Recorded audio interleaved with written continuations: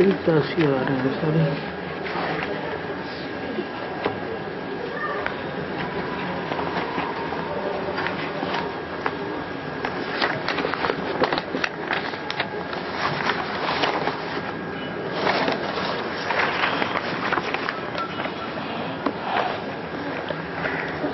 छोटे छोटे एक दो रात्रि क्लास हैं।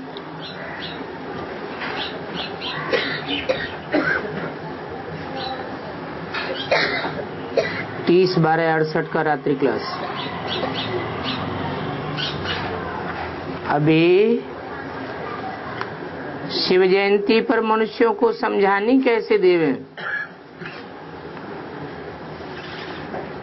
ऐसी समझानी देवे जो मनुष्य झट समझ जावे। इसके लिए बच्चों को विचार करना है।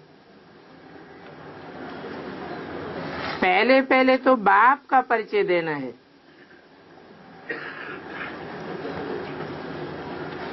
उनकी महिमा भी पूरी करनी है।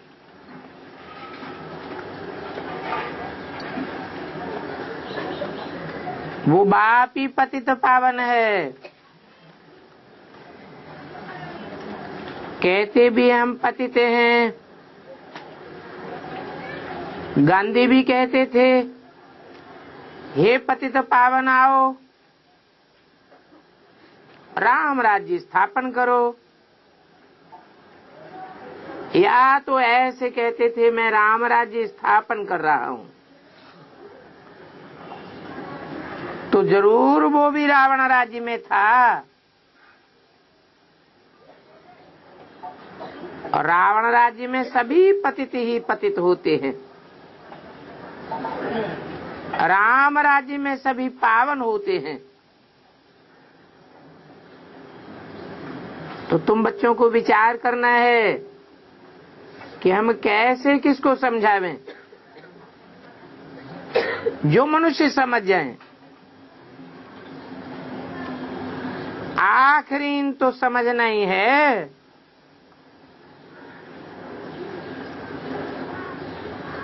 कल पहले जिन्होंने समझाया है, वो ही समझेंगे। पहले पहले तो बाप की महिमा करनी है। बाप का परिचय देना है।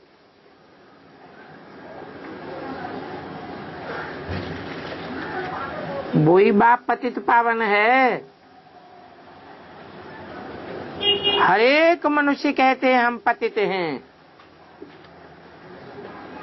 आप आकर के पावन बनाओ।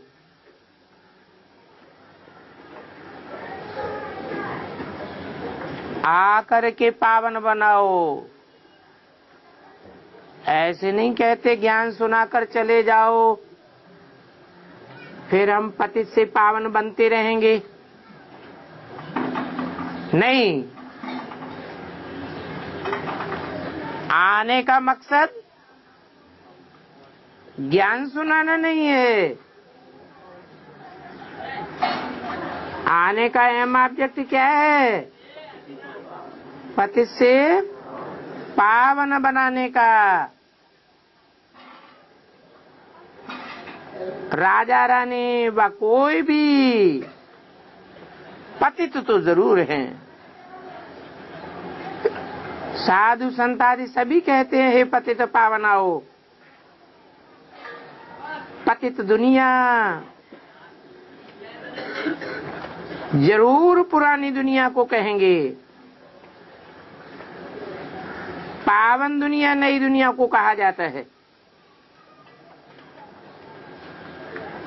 इस समय कलयुग का अंत है तो ज़रूर पुरानी दुनिया है। जबकि पुकारते हैं, पतित पावन आओ। और गांधी तो पुकारते ही गए।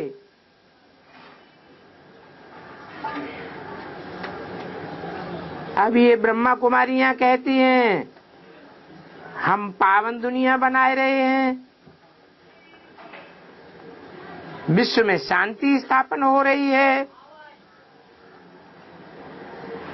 इस विनाश के बाद एक धर्म की स्थापना और अनेक धर्मों का विनाश।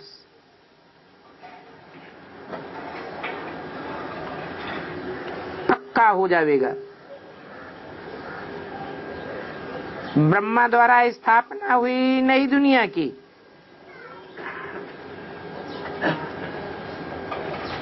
हुई।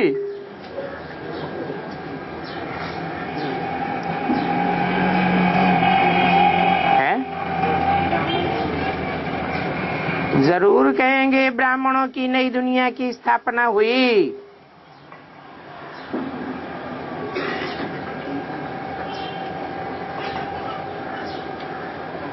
नई दुनिया का संगठन तैयार हुआ। और शंकर द्वारा पुरानी दुनिया का विनाश होना है।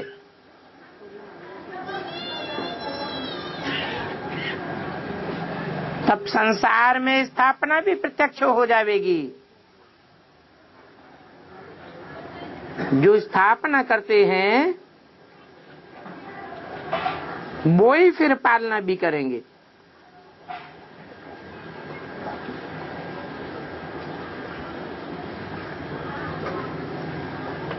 किसके द्वारा स्थापना करते हैं? ब्रह्मा द्वारा। वो पालना कैसे करेंगे? ब्रह्मा ने तो शरीर छोड़ दिया। अब ब्रह्मा कैसे पालना करेंगे?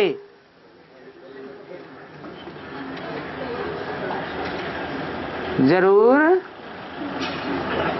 पालना करने के लिए कोई शरीर में प्रत्यक्ष होना पड़े। नाम ही है ब्रह्मा। बड़ी माँ। तो माता के रूप में ही प्रत्यक्ष होंगी। जिस रूप की पूजा की जाती है, ब्रह्मा की दाढ़ी मूछ रूप की पूजा नहीं की जाती है। अभी बाप कहते हैं, पावन बनो पतित पावन बाप कहते हैं। तुम सभी पतित हो। इस कलयुग में कोई भी पावन नहीं होता। पतित पावन बाप आवे, तब ही पावन बनावे।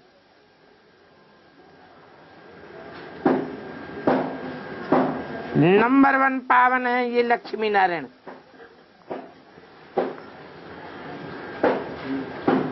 सतो प्रधान थे। फिर चौरासी जन्म लेकर के पतित बने हैं। अभी फिर बाप को याद करना है। बाप कहते हैं तुम्हारी आत्मा अभी तमो प्रधान बनी है। किसको कहते हैं? हैं? अरे किसकी बात हो रही है? लक्ष्मी नारायण की। अभी एवर पावन बन।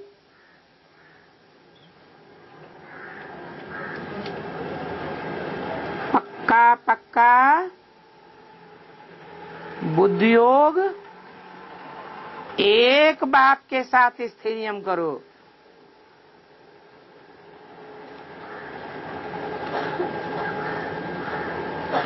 पवित्र बनकर स्वीट होम चले जाएँगे।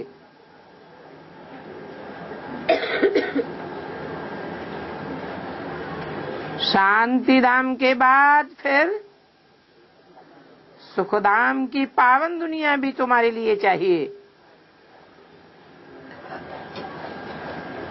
वो है ही ये देवी देवताओं की दुनिया। मनुष्यों को स्त्रियम बुद्धि वाला देवता बनाने वाला एक ही बाप है।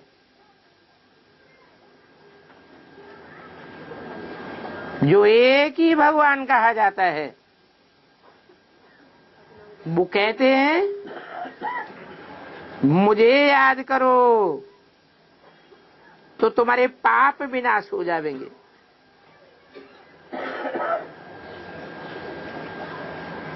तो फिर मेरे द्वारा राजयोग सीखो।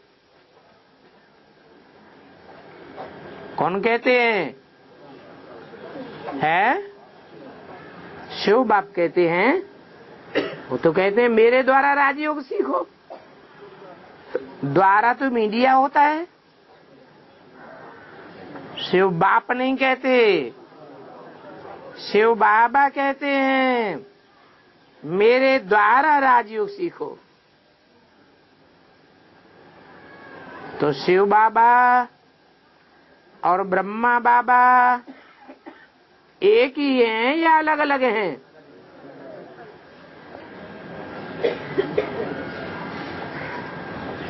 ब्रह्मा बाबा मीडिया अलग। और शिव बाबा स्वयं ही मीडिया बन जाता है बाप के रूप में। जब साकार में प्रवेश करे, ये बातें तो बड़ी क्लियर हैं। और जो बच्चे हैं, उनको समझ में आती हैं। कौन है बच्चे? हैं? बच्चे वही हैं जो आत्मिक रूप में टिकने में माहिर हैं। ये अच्छी रीति याद करो। परंतु माया बुलाई देती है। भगवान वाचे है, माया बुलावेगी। इसलिए बाबा ने जो समझाया वो लिखो। लिखो और छपाए दो। तो कभी भूलेंगे नहीं। और टाइम भी पाँच मिनट लगा समझाने में। बाप कहते हैं अभी याद करो। ऐसे भी नहीं है कि एक जगह बैठ जाना है। वो तो हठ योग हो गया। तो बाप कहते हैं, घूमो, फिरो, चक्कर लगाओ। हठ योग नहीं करना है। फिर कहते हैं अच्छा फिर बिठाते क्यों हो?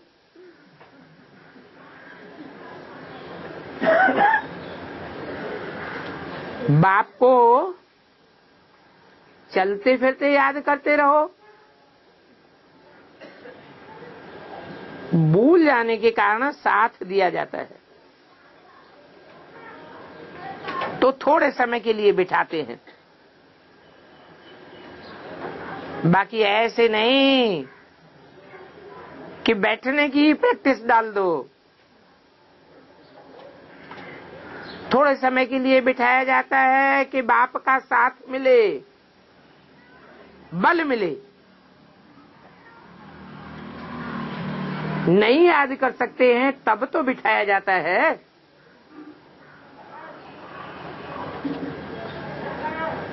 बाप का संग मिलेगा तो मदद मिलेगी। बाकी याद की प्रैक्टिस तो कहाँ भी करो। ऐसे भी नहीं है। कोई दृष्टि देवे। है? दृष्टि देने की भी ज़रूरत नहीं है। है? दृष्टि देने से संग नहीं मिलता। अरे संग का रंग लगता है या नहीं लगता है? जैसे और इंद्रियों से संग का रंग लगता है, परंतु इंद्रियों में सबसे पावरफुल इंद्रियाँ कौन सी हैं? आँखें। ये आँखें बड़ी मददगार भी हैं। और बड़ी धोखेबाज भी है।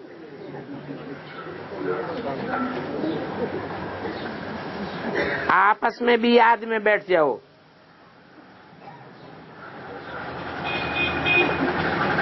ये नहीं कहा दृष्टि देने के लिए बैठ जाओ।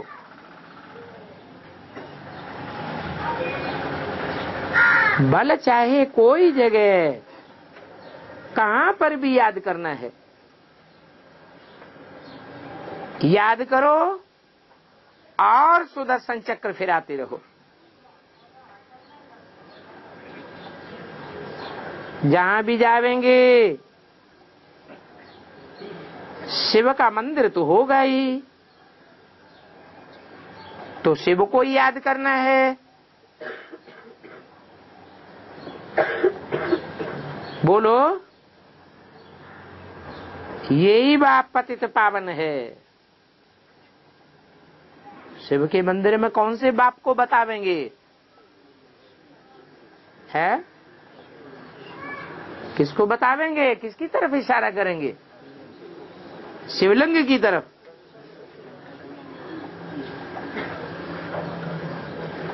तब तो पत्थर के लिंग से ही चिपक जावेंगे।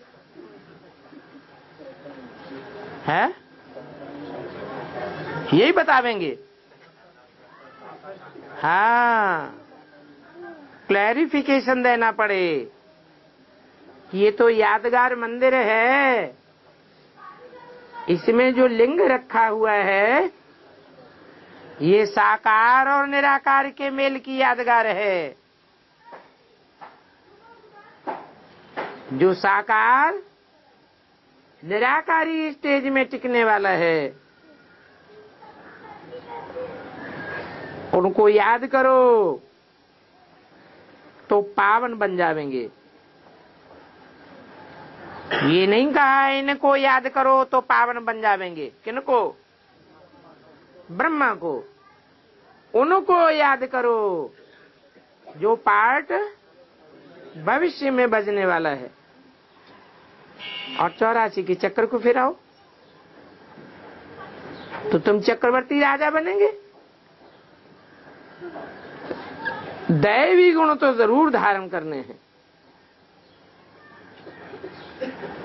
तो दैवी गुणों की महिमा भी करते रहो।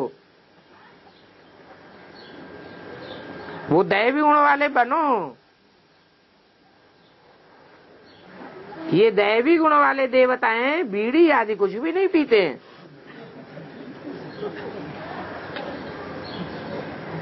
एक दो को तुम समझा सकते हो। परंतु समझाने के समय बच्चे पॉइंट भूल जाते हैं। माया बुलाती है। याद को भी बुलाई देती है। और एन मौके पर पॉइंट को भी बुलाई देती है। बाबा खुद कहते हैं, ख्याल आता है फलानी पॉइंट समझानी थी। जब हम पक्के हो जावेंगे तो भूलेंगे नहीं। बाबा कुछ कागज़ आज तो उठाते नहीं है। बाबा कोई शास्त्र आदि थोड़े ही उठाते हैं। कौन से बाबा? हम्म? ब्रह्मा बाबा। तुमको भी पक्का होकर के जाना है, सुनाने के लिए। पहले अपने से ही माथा मार करके पक्का करो। जितना अच्छी रीते पॉइंट नोट करके धारण करेंगे, उतना ही पक्का होता जाएगा। और धन की वृद्धि होती जाएगी। कुछ न कुछ समझाना ज़रूर है। नेपाल में छोटे बच्चों को भी हथियार चलाना सिखाते हैं।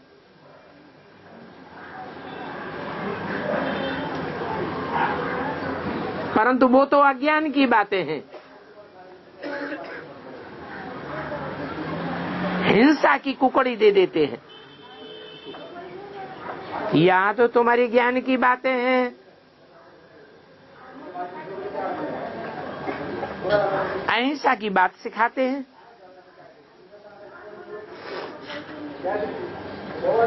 छोटे छोटे बच्चों को भी सिखाना होता है, शिव बाबा को याद करो।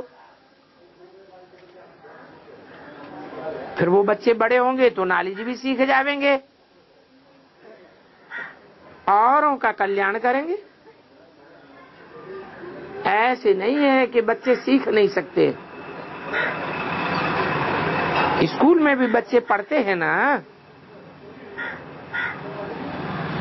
अच्छा अच्छा पार्ट बजाते हैं।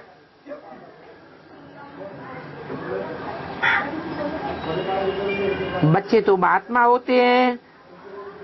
उनमें गुण भी अच्छे होते हैं। तो बच्चों का भी जीवन सफल करना है। अच्छा। गुड नाइट और नमस्ते।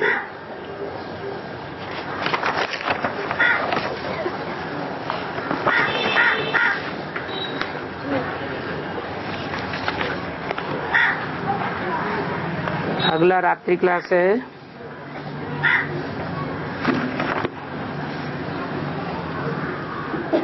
पहली जनवरी सन उन्नीस सौ उनहत्तर। जो बाप द्वारा सुनते हो अथवा मैगजीन द्वारा पढ़ते हो या कोई कोई अपना विचार सागर मंथन करके भी सुनाते होंगे।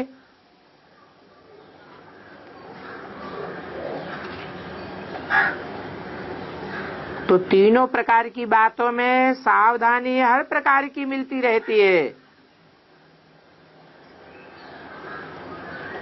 टाइम बड़ा वैल्यूबल है। जितना टाइम बाप की याद में सफल करेंगे, उतना अच्छा। दिल्ली में अक्सर करके बहुत गोप हैं।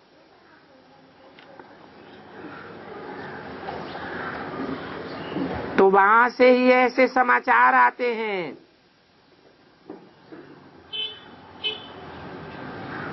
और कहाँ कहाँ ब्रह्मा कुमारियों में भी अच्छे अच्छे गोप हैं। टाइम वेस्ट जाने से किसी को रास्ता बताना चाहिए।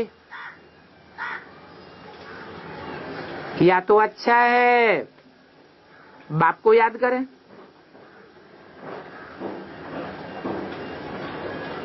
टाइम वेस्ट नहीं करना चाहिए। ऐसे तो टाइम बहुत है। समझा भी देते हैं, हर एक को अपना अपना पार्ट बजाना है। मुख्य है याद की यात्रा और दैवी गुण। दैवी गुण धारण करने में व याद करने में माया की लड़ाई ज़रूर आती है।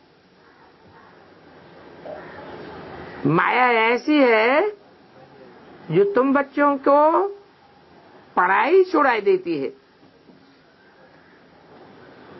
ऐसे बहुत हैं।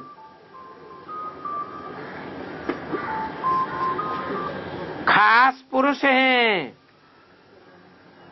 और आम स्त्रियाँ हैं। पुरुष बहुत पढ़ाई छोड़ते हैं।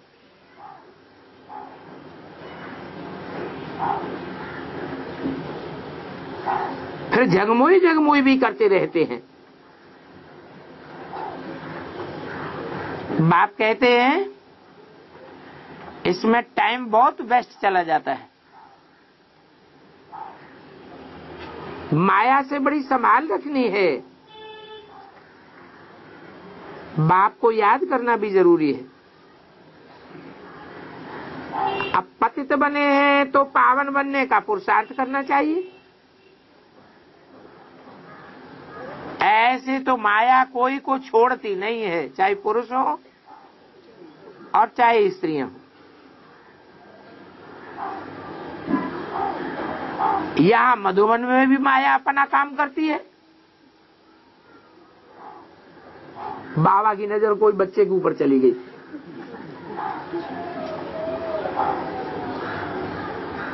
माया का काम ही है गिराना। फिर लड़ते हैं तो गिरते हैं। माया का तो ये धंधा ही है। कितना भी अच्छा हो गफलत करने से माया अच्छा ही वार करती है। एक ही थप्पड़ से खुशी गवाई देती है। तुम बच्चे पहले आए तो बहुत बाप के बने। कब की बात? है? यज्ञ के आदि की बात बताई। कि तुम बच्चे पहले पहले आए तो बहुत बच्चे बाप के बने। गोया जीते जी मर गए। क्या? पहले पहले आने वालों की विशेषता क्या बताई? बहुत बच्चे आए थे। जो जीते जी बाप के बन गए थे, जीते जी मर गए। फिर भी माया ने कोशिश की अपनी तरफ़ खींचने की। तो आधा महारथी, आधा घोड़े सवार, आधे प्यादों को ज़रूर जीतेगी। तुम हिसाब निकालेंगे आधे तो ज़रूर गिरे होंगे। आज अच्छे अच्छे बच्चे हैं ही नहीं। कब की बात बताई? गिराती है तो एकदम की कमाई चट कर देती है। इसलिए बाबा सदैव कहते हैं, खबरदार रहो। सावधान। माया का धंधा ही है गिराने का। जरमुई झगमुई करना, निंदा आदि करना, भूलते ही नहीं है। बल बाबा रोज समझाते रहते हैं। अभी तो समझते हो जो करेगा, अपना ही पद भ्रष्ट करेगा। जो करते हैं, उनको दिल में लगता भी है। आज बाबा ने मुरली मेरे ऊपर चलाई। क्या? कोई कोई समझ गए होंगे? मुरली तो भिन्न भिन्न प्रकार की चलती है। माया गफलत बड़ी ज़ोर से कराती है। पता भी नहीं पड़ता है कि हम गफलत कर रहे हैं। अंदर में समझेंगे हमने हार खाई है। क्योंकि माया का युद्ध तो मशहूर है ना। कौरव है आसुरी सेना। और पांडव हैं देवी सेना। कहा की बात बताइए? है? बाहर की दुनिया की बात बताई। बेसिक ब्राह्मणों की बात बताई सिर्फ़। है? बेसिक ब्राह्मणों की भी नहीं। सिर्फ़ दुनिया की भी बात नहीं है। एडवांस की बीज रूप आत्माओं में भी। कौरव और पांडव बीज रूप में भरे पड़े हैं। ये पांडव है दैनी, दैवी सेना। बाकी वो कोई हिंसक युद्ध नहीं है। तुम कोशिश करते हो कौरवों को देवता बनाने की, उनको दैवी गुण धारण कराने की। बताते हो माया ते हारे हार, माया ते जीते जीत। संभाल तो बहुत रखनी होती है। माया मौका देखती रहती है गिराने का। मल्ल युद्ध भी चलता है ना। इनको ऐसे गिरावे। उनको ऐसे गिरावे। तो माया का भी युद्ध चलता रहता है। परंतु तुमको तो मूल बात एक ही है। क्या? अपन को आत्मा समझ? बाप को याद करते रहो बाप तो सावधान करते हैं। और ये सावधानी बाप ही आकर देते हैं। बाप को बुलाई दिया है। बड़ा घाटा पड़ जाता है, भारी चमाट लग जाती है। कमाई तो बहुत भारी है। फिर गफलत करने से बहुत चमाट लगती है। परंतु माया ठहरने नहीं देती है। इसलिए बच्चों को टाइम बिल्कुल वेस्ट नहीं करना है। इस कमाई में बहुत फ़ायदा है। उस कमाई में तो घाटा ही घाटा है। अरे।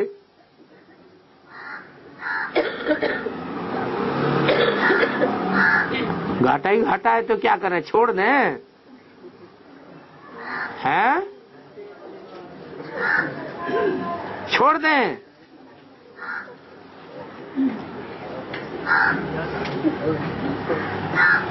भारतीय वैश्यालय फिर भारतीय शिवालय बनता है। शुरू से भारत शिवालय था। परमपिता परमात्मा की स्थापना थी। कब? मध्य में कि अंत में? अरे, कब थी स्थापना परमपिता परमात्मा की? आदि में, शुरू में। परमपिता परमात्मा ही स्वर्ग का वर्षा देते हैं। फिर भारत ने ही हार खाई है। और हार होती है विकारों में जाने से।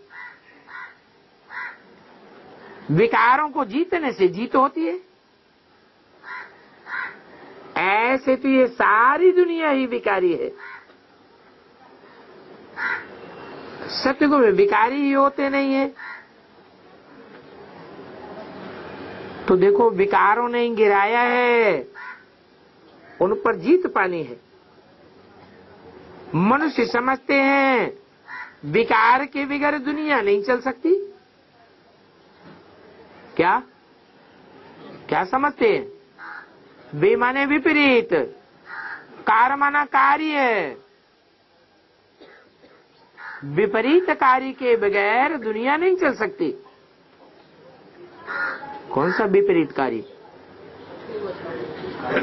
कि श्रीमत के विपरीत हम कार्य नहीं करेंगे तो दुनिया नहीं चलेगी। ऐसे है? है? नहीं है? है तो ऐसे ही। जब सारे ही श्रीमत के अनुकूल चल पड़ेंगे तो दुनिया आगे चलेगी। है? चलेगी या विनाश हो जाएगा?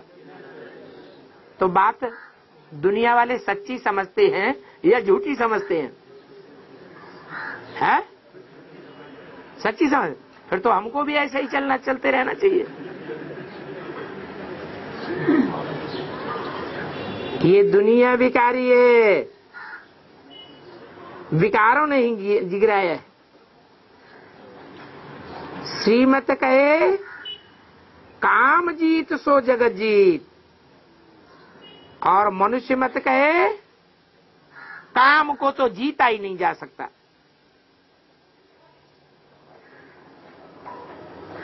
पुरुषार्थ ही नहीं करते हैं। बच्चे जानते हैं, जो दैवी गणाने के फूल होंगे वो ही ये पुरुषार्थ करने के लिए आवेंगे। तुम समझते हो हम दैवी घराने में ज़रूर जावेंगे।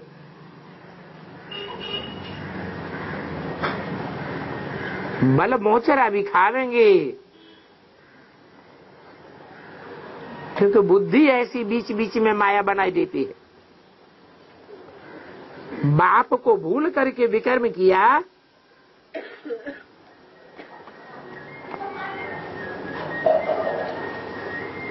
तो भ्रष्ट बुद्धि से मार ज़रूर खावेंगे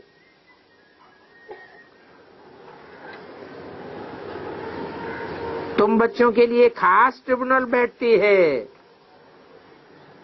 क्या कहा दुनिया के लिए आम। और तुम्हारे लिए खास ट्रिब्यूनल बैठती है। मोर ध्वज और ताम्र ध्वज की कथा भी है ना?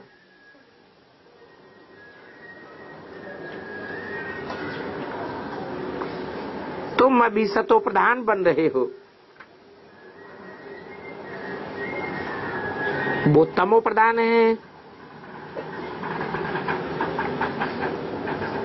माया से तमो प्रधान और ईश्वर से सतो प्रधान बनते हो। बच्चे जानते हैं दुख किसको और सुख किसको कहा जाता है। तो खबरदारी बहुत रखनी है।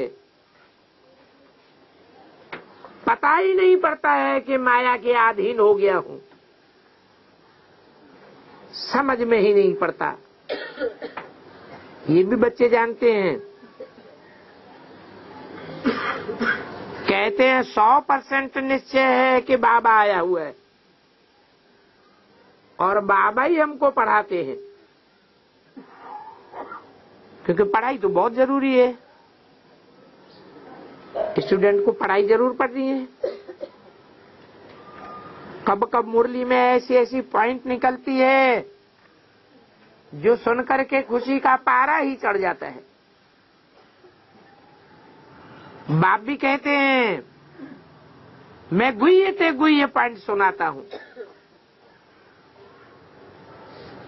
एक एक उनहत्तर की वाणी का दूसरा पेज।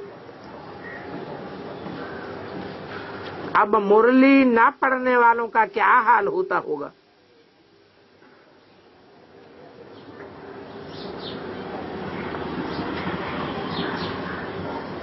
यह मुरली पढ़ने वाले की बात क्यों कही? है? मुरली पढ़ना तो थर्ड क्लास कैसेट में सुनना? सेकंड क्लास और सन्मुख सुनना?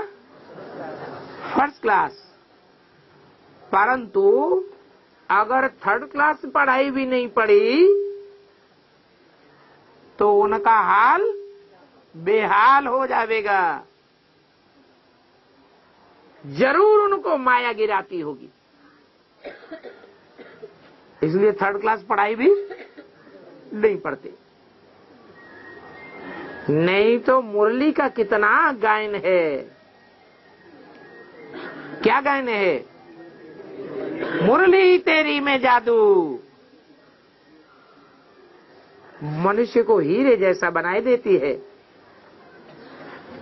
इतना बड़ा जादू है। समझा जाता है कौन कौन अच्छी सर्विस कर सकते हैं।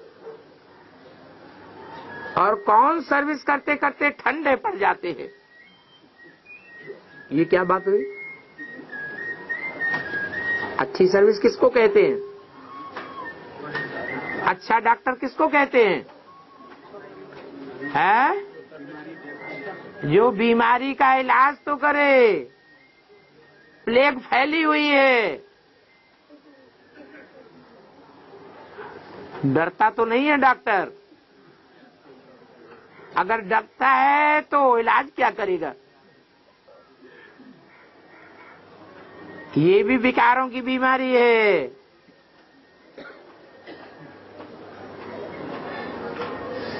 डरने वाले को पक्का डॉक्टर नहीं कहेंगे।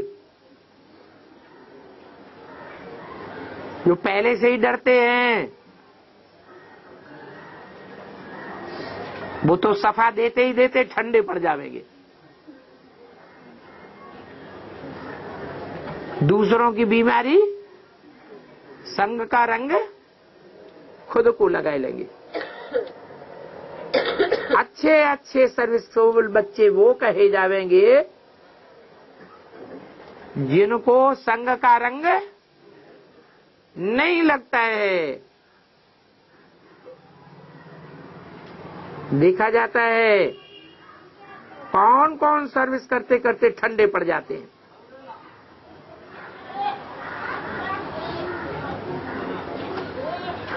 फिर संग में अच्छी तरह हिर जाते हैं। कोई तो बचे जावेंगे।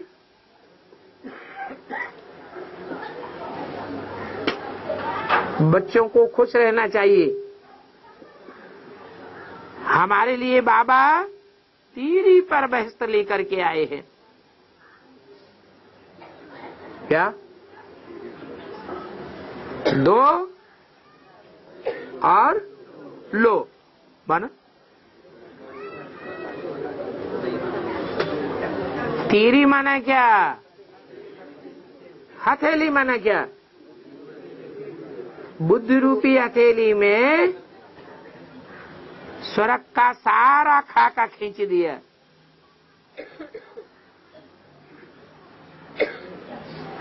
और सारा खाका हमको दिखाई पड़ रहा है।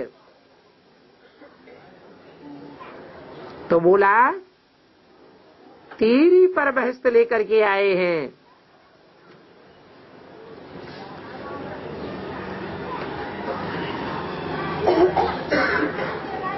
बच्चों को बहुत खुशी होनी चाहिए। क्योंकि पैराडाइज में जाने के लिए पढ़ते हैं। जो अच्छा पढ़ते होंगे, उनकी निशानी क्या होगी? है? एक तो चढ़ती कला, तेरे बहाने दूसरों का भला। दूसरों का भला ज़रूर करेंगे। मन में खुशी दिखाई देगी। बाहर। न पढ़ते होंगे तो अंदर अंदर उनकी दिल खाती रहेगी। समझेंगे, हम तो नापास हो जाएँगे तो इसका तरीका क्या है? जो दिल न खाए, एक तो पढ़ाई कभी नहीं छोड़नी चाहिए। बल लिखते हैं नॉलेज एक ही है। कोई नई बात नहीं है। सो तो एक ही बात है। मन मना भव। परंतु मन मना भव निरंतर रहने के लिए भी पॉइंट तो रोज रोज बताते हैं ना। इतने वर्ष हो गए। फिर भी अगर अगप्पन से पूछेंगे तो भी देखा तो जाता है कि बहुत नए नए ऊंच पद पा लेते और पुराने पुराने रह जाते हैं, थक जाते कम पुरुषार्थ करते माया से हराए लेते हैं।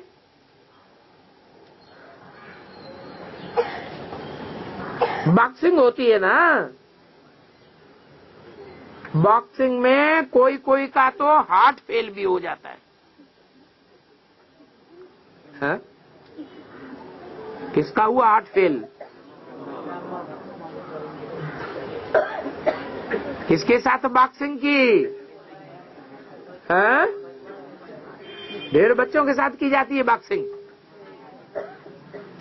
आ कभी कभी दो चार के साथ भी बड़ा मल्ल युद्ध करने वाला होता है तो दो चार के साथ भी बॉक्सिंग कर लेता है। लेकिन ब्रह्मा बाबा ने खास किसके साथ बॉक्सिंग की? अरे बोलो, कैसे आठ फेल हो गया? खास कारण कौन बन गया? ज़ोर से बोलो। तो बॉक्सिंग में कोई कोई हार्ट फेल भी हो जाते। हैं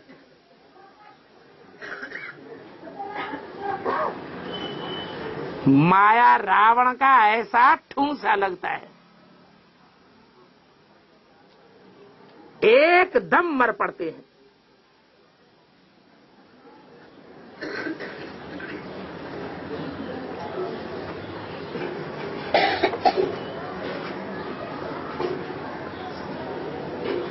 एक ऐसा भी पकड़ा गया था जो हैमर से मार मारता था।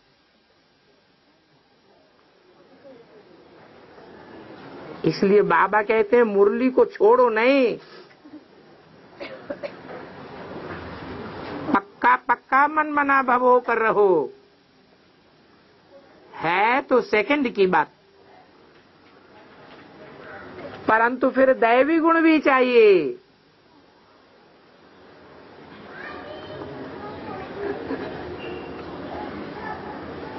आसुरी गुण होता है तो पवित्र आत्मा साबित होती है या अपवित्रता है? अपवित्र, पवित्र की महिमा गाते हैं ना। ज़ोर से चमाट लगने से फिर उठ नहीं सकता। कितनी भी कोशिश करे, टाइम लग जाता है। माया, काया, कला चट कर देती है। ये हार जीत का खेल है ना? इसलिए अपन को संभालते रहो। माया तो फट से बुलाई देगी। इसलिए बाप बच्चों को बहुत सावधान करते रहते हैं। क्योंकि दिन प्रतिदिन माया का ज़ोर बढ़ता जाता है हा? ज़ोर बढ़ता जाता है अव्यक्त बाप दादा ने तो कुछ दिन पहले कहा था, माया थक चुकी है हैं? वो तो पहले कहा था जब कोई बहुत थक जाता है, मन से बहुत थक जाता है तो तन भी कैसा होता है? तन से भी थक जाता है। कहता है, अब हम बचेंगे नहीं। शरीर ही छूट जाता है।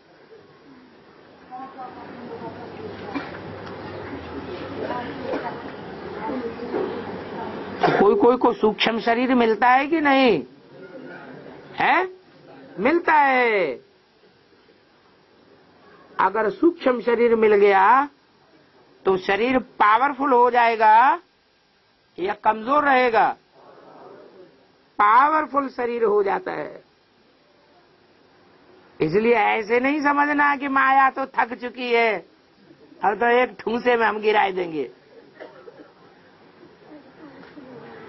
अभी तो बहुत पावरफुल हो गई। दिन प्रतिदिन माया ज़ोर होती जाती है। अंत तक ज़ोर मारती रहेगी फाइनल पेपर तक। इसलिए बच्चों में बहुत खबरदारी चाहिए। नहीं तो कोई कोई बच्चे पूरा दिवाला मार देते हैं। शिव बाबा को याद करने वाले बहुत थोड़े हैं। दुनिया के हिसाब से थोड़े हैं या ब्राह्मणों की दुनिया के हिसाब से थोड़े हैं? या एडवांस के ब्राह्मणों की दुनिया के हिसाब से भी थोड़े हैं? है? दैवी गुण भी ज़रूर धारण करने हैं। नहीं तो एडवांस पार्टी में खास बंदरों की सेना है।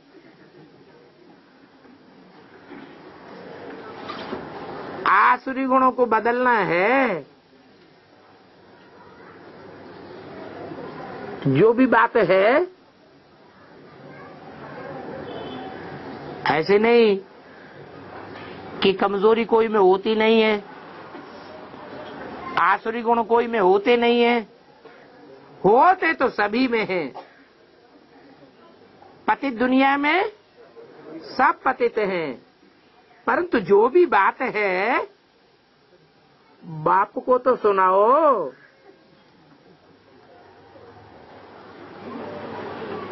नहीं तो तुम निंदा करके और भी बिगड़ते जाते हो।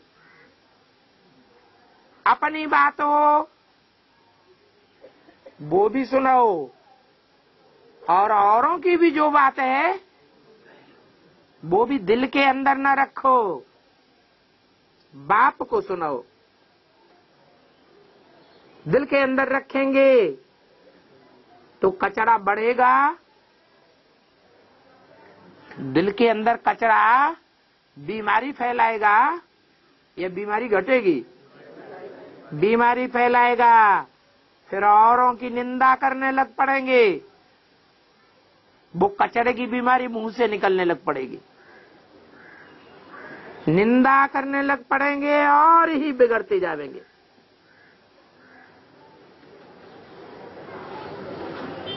औरों की निंदा करके ला अपने हाथ में मत उठाओ। जरमुई झगमुई की बातों में अपना टाइम वेस्ट मत करो। इसको पढ़ाई नहीं कहा जाता है। ये तो शैतानी है।